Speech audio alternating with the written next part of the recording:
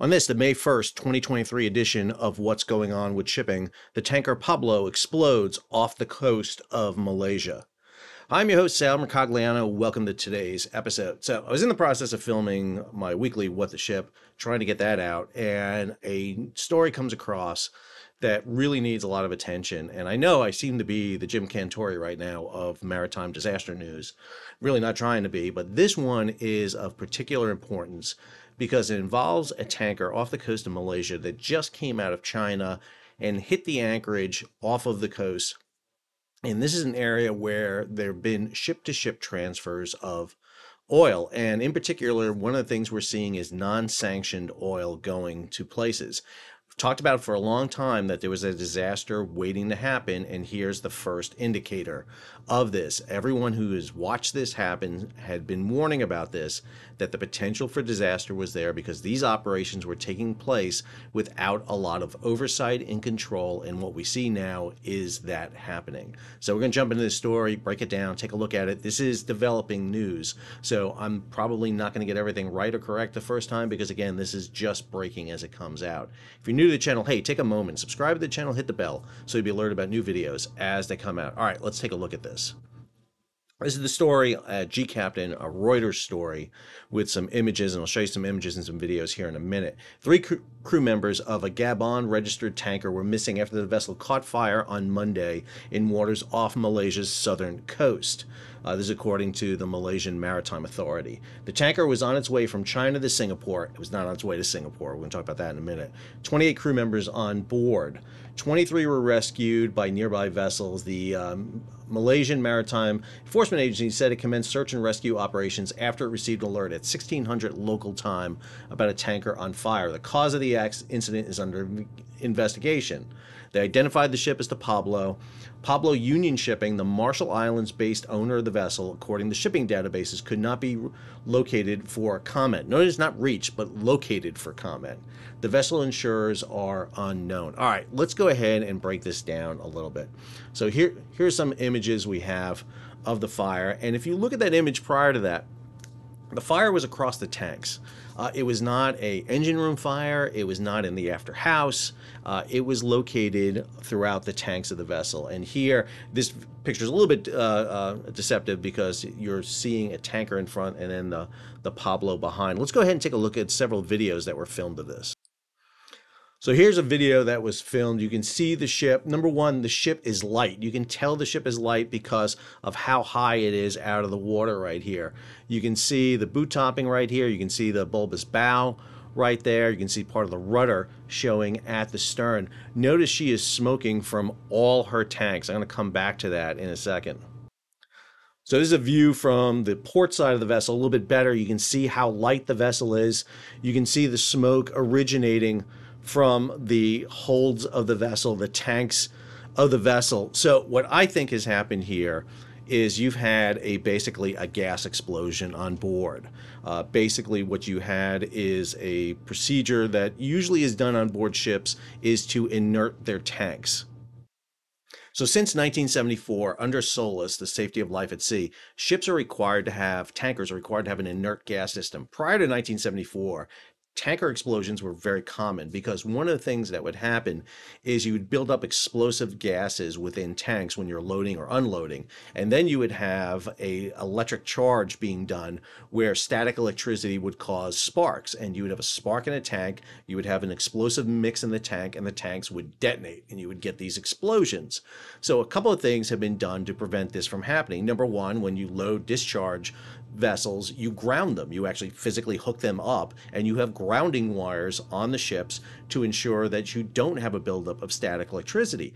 The other element you have is an inert gas system, which basically lowers the oxygen level in the tanks, usually through a scrubber system on the exhaust that will basically dump in carbon dioxide or carbon monoxide into or nitrogen into the tanks, and you lower the tank's explosive uh, ability. You basically remove the oxygen. If there's not enough enough oxygen, you can't have the explosion. Some ships have inert systems installed in them because of the, the, the engines on board, But what you're seeing right here is none of that is either being done. So, number one, this ship is at anchor off the coast of Malaysia, and this ship was involved in a ship to ship transfer, probably. It was loading oil at sea at anchor, which means you're not grounding the vessel. Number two, it's not clear if the inert gas system was working on this vessel because I'm not sure when this ship met its last classification and what classification it has, as you're going to find out right now. So, all ships have to have some some uh, requirements on them. They have to be flagged. This ship is flagged in Gabon, which right there is a flag. Let, let, me be clear. I mean, red flag, I should say. This is not a nation that has a huge track record of safety when it comes to vessels. Gabon is not it. Second of all, you have to have a classification society for this vessel, and this vessel is missing the essentials here.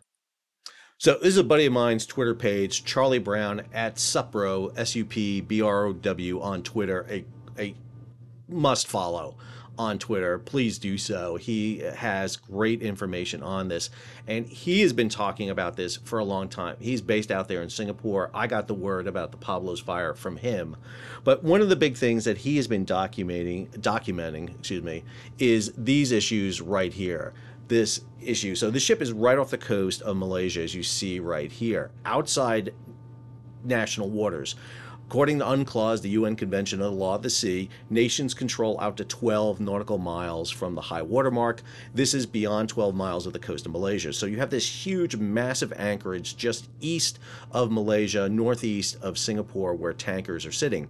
This ship was supposedly heading from China to Singapore, but I don't think it was ever going to Singapore. It was going to this anchorage. Because what has been taking place here is ship to ship transfers. These are satellite images off uh, open source intelligence intelligence grabbing anchorages, this anchorage off the east side of Malaysia, where these ship to ship transfers are taking place. And a lot of this has to do with oil coming from Venezuela, Iran, and also China. And this is the way they're getting around some sanctions and some enforcement agencies. These this oil is being reloaded and shipped into other tankers and then being moved to other places. We just had the story here about Iran seizing a uh, Marshall Island flag tanker, the Advantage Sweet. This is in retaliation to the U.S. diverting a tanker with Iranian oil that probably did the transfer right here, right off the coast. But as I mentioned before, this is taking place outside of national waters, which means there's no port state control. This is the enforcement agencies that ensure that things like SOLAS 1974 are being enforced and making sure that ships are meeting their minimum requirements, which means you're creating what is known as the dark fleet, vessels that are operating outside the bounds of the rules and regulations established for international shipping. This is Pablo right here, and you can see her off the coast. This is marine traffic, and you'll see the vessel right here off the coast basically in the area off of Malaysia right now. This is the sheet here. I'm going to remove my big melon of a head so you can see this. So this is the, the, the, information off marine traffic, and this is where you usually get information about vessels. And so, for example, here when you pull up general, you'll start finding out information about the vessels. You get everything from tonnage to classification to all the information, 26-year-old tanker uh, built in Japan. But when you start pulling up things, notice there's no classification society, no owner listed, and the manager is unknown. And when you come into ownership and associated parties, again, manager unknown, technical managers listed as Global Tech Marine Services. You get a builder, engine builder, you get an insurer, the West of England ship owners, but not a lot of specific information regarding this vessel you come over here. This is Equasis. So Equasis is a database done by the European Union on vessels. And I want to take you through this just a minute to show you exactly what is going on with this vessel. So here, Gabon flagged, you find all the information you need, gross tonnage, when the ship was built. So a couple of things. So 0 uh, percent of inspections uh, having led to a detention in the last 36 months. That sounds really, really good when you look at it. So it sounds like a good track record. When you look here at management details, for example, okay, you find out who the ship manager is. It lists Pablo Union Shipping, uh, trust company complex located in Majuro in the Marshall Islands. Uh, when you go to details on this, not much here. When you do the Google search for Pablo Union Shipping, what comes up front here in Venezuela.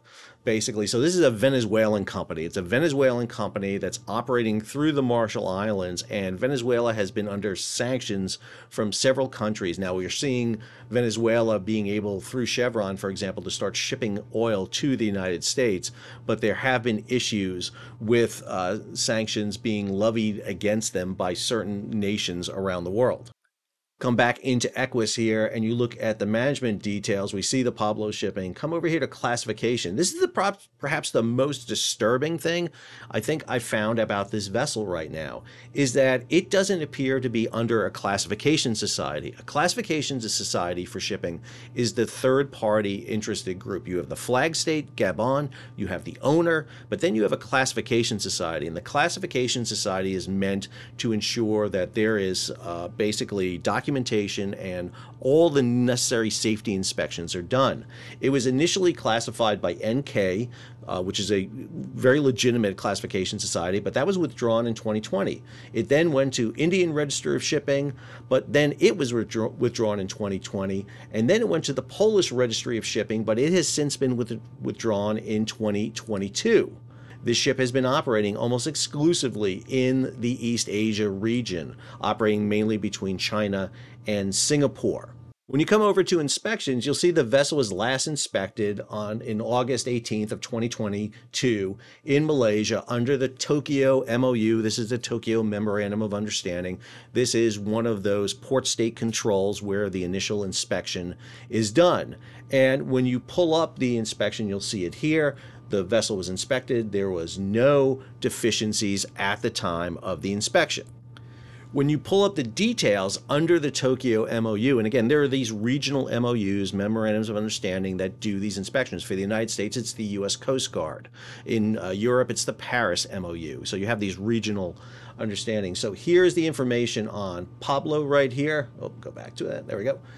IMO number, that is the number of the ship. That never changes no matter what the ship's name is. It will always change. Her call sign. But the most, I think, unbelievable thing right now here is that it's listing a classification society as other. Basically, it, it doesn't say who it is. And to me, that is perhaps the biggest problem. Go on here, it lists the type, when it was built, deadweight tonnage, shows you the Pablo Union Shipping Company, its IMO number, Marshall Island flag, Marshall Island registry, and then a uh, basically an email in which to contact them.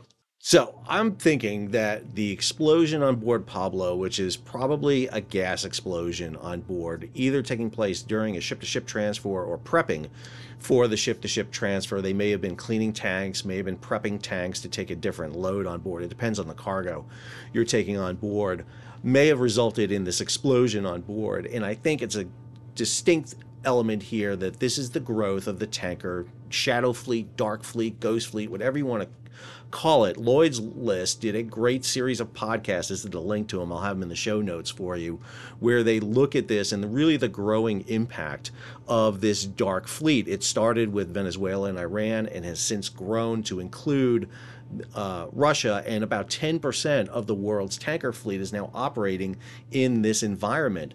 And we have been talking, a lot of people have, I have, and many other people across the industry have been talking about the fact that this was going to be dangerous, that these ship to ship transfers that were taking place in Malaysia, in the Mediterranean, off the coast of Greece, in the Atlantic, in the high seas, all of them were fraught with danger. You were going to see oil spills, you were going to see uh, potential uh, collisions with vessels, and on the worst case, a fire and explosion, which is exactly what we're seeing right now on board the Pablo with members of the crew missing. And this has to do, again, with this kind of uh, voracious appetite that China has for oil. Uh, they will buy oil on the open market from Venezuela, from Iran, from Russia, from anyone. And they'll do it. And again, that's the same for everyone. I am not pointing fingers here because let's be clear everyone has a role to, to play in this. The United States, the European powers, the G7, everybody, IMO, the International Maritime Organization, there are a batch of people who are at blame for this. And this is part of what's happening on the high seas right now. This is why you're seeing this element of the lawless sea, the outlaw sea, whatever you want to call it, happening. And you're seeing it off the coast of Malaysia in the South China Sea. Really hoping the best for the crew members on board this vessel. Uh, not exactly sure what's going to happen. Fire is raging on board the vessel right now based on images we've seen. Uh, probably going to get out of control. Not sure you're going to be able to save this vessel. Hoping they'll be able to find the missing crew members. I hope I touched on a subject that maybe you don't know much about, but this is one that you should know about. If you enjoyed today's video, hey, take a moment, subscribe to the channel, hit the bell so you'll be alerted about new videos as they come out. Leave a comment. Again, I do not know everything on this story story. This is a developing story. So if I got things wrong, my apologies. But again, this is going to be changing as we learn more.